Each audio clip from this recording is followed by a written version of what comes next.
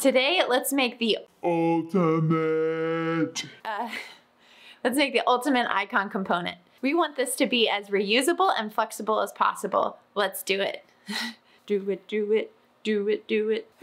Shoot. Let's jump in. Since this is a React component, it only makes sense to start with create React app. So here in VS Code in our terminal, I'm going to type npx create React app ultimate icon. And this will take a minute. While we wait, let's look at some internet cats.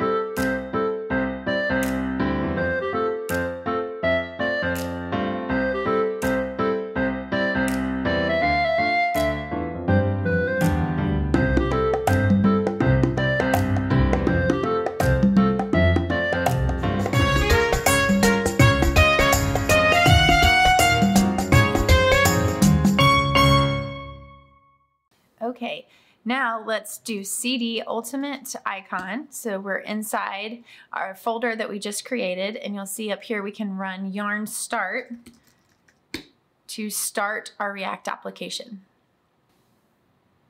Our browser automatically refreshes and we see the spinning React logo. Perfect. So I'm going to close our terminal and I'm going to open this ultimate icon folder and here you'll see all the items that create React created. So in our source file, I'm going to open up our app.js and we can clean out some of these items. I'm going to remove all the content and eventually our icon will be in the same location as the React spinning logo. Give that a save and then in app.css, we can clean up this file too. I'm going to remove all the stuff related to our animation. We can get rid of these styles as well.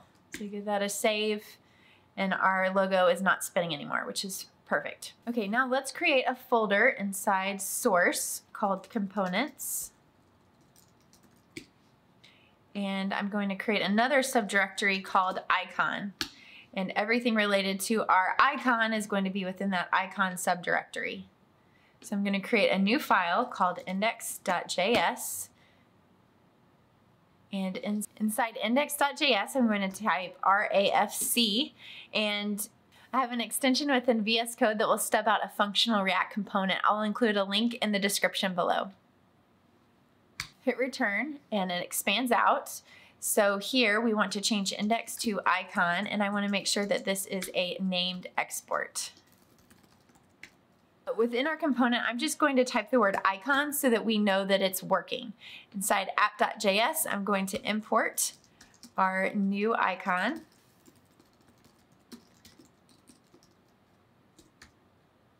We can get rid of our SVG now and I can reference our new component. So if I give that a save, you should see our text icon here within the browser. Perfect. Great, now let's add a few icons. Within our subfolder, icon, we're going to add facebook.js and I'm going to add one for Twitter and Instagram.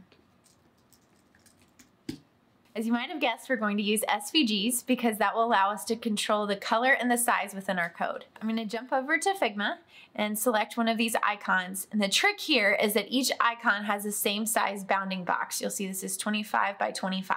I can select each icon and then come down to the export section on the right, click the plus button, change this to SVG and click export. And I'll save that to my desktop. I'm going to do the same thing for Facebook select SVG and export to my desktop, and then the same for Instagram. Select SVG and export. I'm gonna jump back over to VS Code, and here I have Instagram.js already open. So I'm gonna type RAFC again, and we want this to be a named export.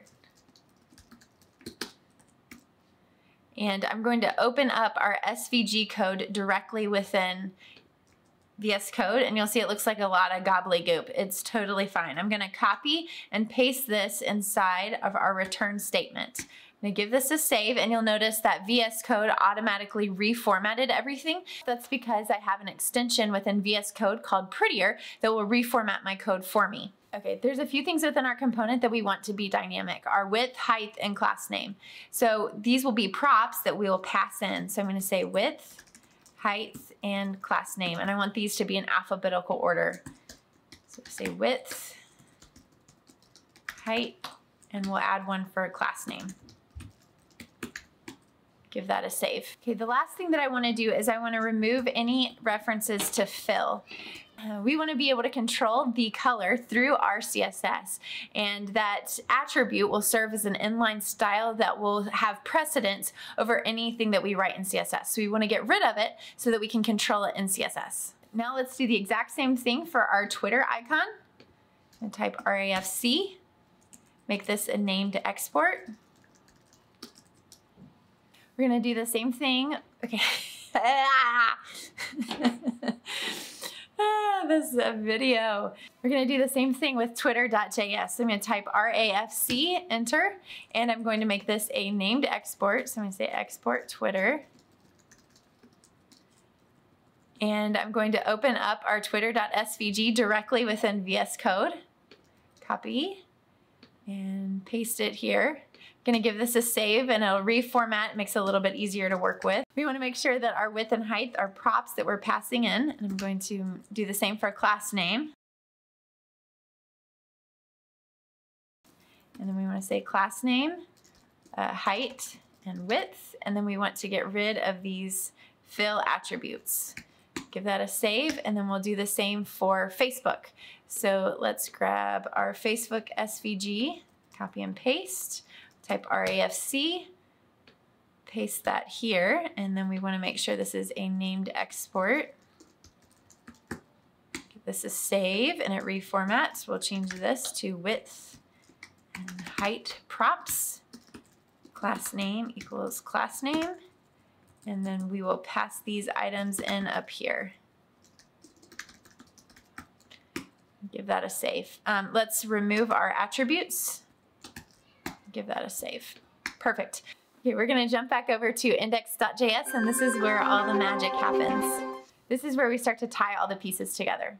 At the top, we want to import all the icons that we just created. So I'm gonna say import Facebook from Facebook. I'm gonna duplicate this and do the same for Instagram and Twitter. Perfect.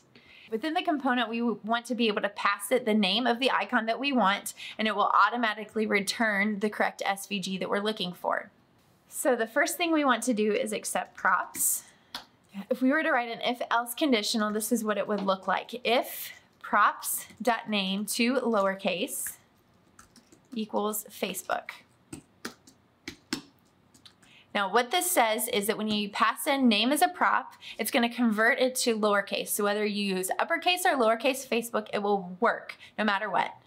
And it will return the Facebook component that we created. We want to pass off all the props that were passed in. This dot dot dot props is called a spread. So anything that we pass in here, props, it automatically hands it off to our component Facebook here. We don't have to explicitly define our height, our width, and our class name. It just takes everything it receives and hands it off. Okay, I'm gonna do an else if to handle Twitter and Instagram. So in this case, I'm going to copy our if statement and make else, hit paste. Now I wanna change this to Twitter and we're going to show, we're going to return Twitter component that we created. And then let's do the same for Instagram. Return Instagram props. If none of these cases match, I want to use an else to return an empty div. When I hit save, you may have noticed I now have an error within the browser. This is pretty easy to fix. If we come back over to app.js, it just wants a name here. So I'm gonna say Facebook, and when I give that a save, you'll actually see our Facebook icon appear. So pretty cool, it's working. But I did wanna return to our index.js. Anytime that you see yourself starting to type the same thing or you have recurring blocks of code, that's a code smell. A good opportunity to refactor. In this case, we're repeating props.name to lowercase quite frequently. And JavaScript actually has a thing called switch, which will handle this beautifully. So we can refactor this and say switch. And what this does is it says each time I want you to look at this props.name.to lowercase. And if it is Facebook, then we want to return our component. If it's Twitter, we want to return the Twitter component. If it's Instagram, we want to return the Instagram component and then by default, so if none of these exist, we will return our empty div. So it's a little bit easier to look at and a little bit easier to read and digest. Okay, the only thing left is we want to be able to control the width and height and color within CSS. Okay, if we come back over to our app.js, we can pass in a width and height prop. So I'm to pass in 15 just to show you it can be super small. I'm to make this 300.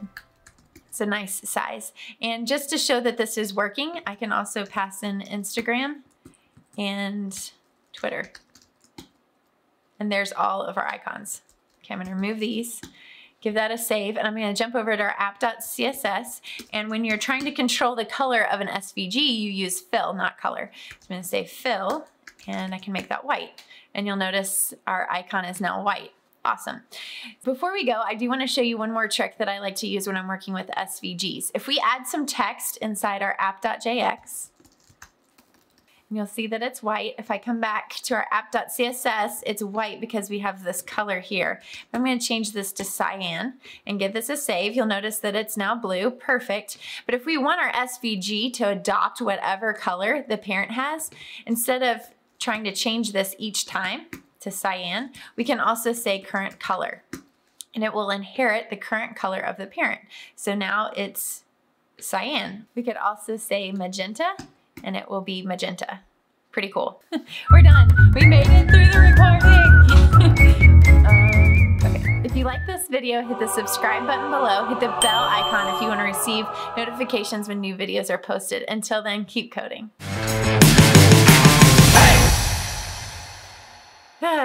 stuff just comes out when I'm recording.